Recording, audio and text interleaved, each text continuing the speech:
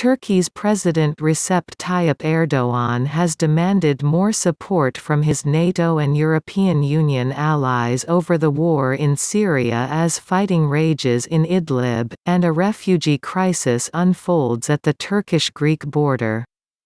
Erdoğan flew to Brussels for talks with EU and NATO leaders after tensions rose over the fate of tens of thousands of refugees trying to enter EU member Greece since Ankara said last month it would no longer try to keep them on its soil. After talks on Monday with NATO Secretary General Jens Stoltenberg, Erdoğan said he wants Turkey's Western partners to do more to support his country to cope with millions millions of refugees from Syria. The crisis stemming from Syria, with its security and humanitarian aspects, is threatening our region and even all of Europe, Erdogan said. No European country has the luxury to remain indifferent. Thousands of people have massed at Turkey's land border with Greece since Erdogan's government made good on a long-standing threat and announced it would no longer prevent them from crossing critical period the president made the move after dozens of Turkish troops were killed in intensifying fighting in Syria's northwestern region of Idlib amid a government offensive, backed by Russian air power, to recapture the last rebel stronghold in the nine-year war. We expect concrete support from all our allies in the fight that Turkey has been carrying out alone.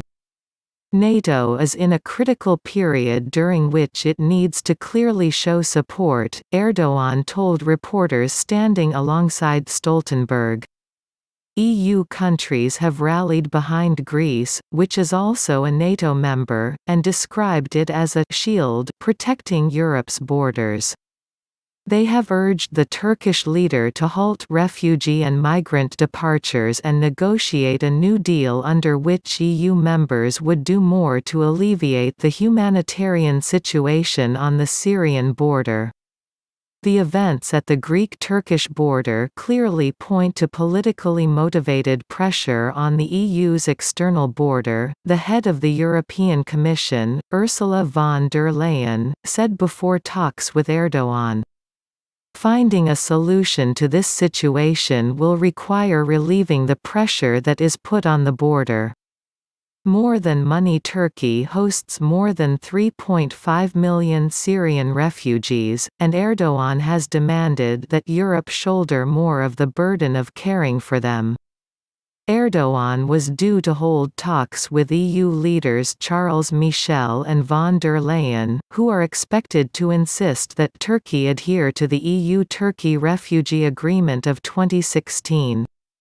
The 2016 agreement stipulates that Ankara will prevent undocumented migration towards the EU. In return, the 27-nation bloc promised €6 billion, Euros $6.8 billion to care for Syrian refugees in Turkey.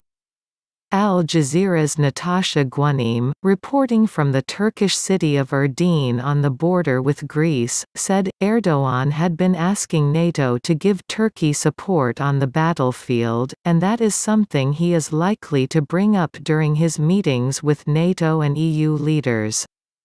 Analysts say they do not expect him to simply resume abiding by that 2016 agreement with the European Union for billions of dollars in exchange for strict control at the borders. They say Erdogan wants to see the EU doing more than just providing financial assistance. Erdogan had already given NATO a list of ten requests, including greater air support on the Turkish-Syrian border, more reconnaissance aircraft, surveillance drones, and more ships in the eastern Mediterranean, according to diplomatic sources. Common Solutions on Monday, Stoltenberg said the alliance was already supporting Turkey and would continue to do so. Stoltenberg also highlighted Turkey's frontline role as a NATO member, saying, no other ally has suffered more from terrorist attacks, and no other ally holds more refugees. He said NATO support would continue but expressed great concern about events on the Turkish-Greek border.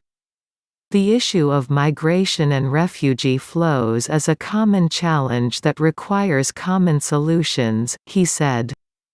European leaders are considering taking in 1,500 child refugees to ease pressure on overwhelmed camps on Greek islands facing a new wave of arrivals from Turkey. Von der Leyen said there was no immediate concrete offer of new funding to revive a deal with Turkey to keep refugees from Syria and beyond.